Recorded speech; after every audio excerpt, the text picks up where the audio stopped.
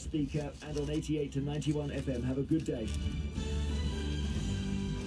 BBC News at 2 o'clock. This is Harvey Cook.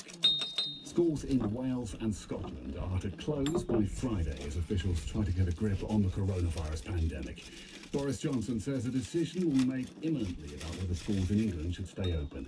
He said the government had to square the circle. So holidaymakers should contact their tour operator or airline as soon as possible to make arrangements.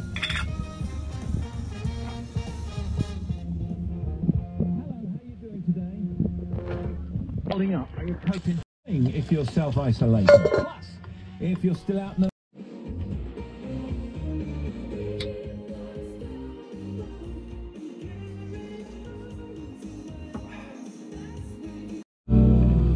Everything.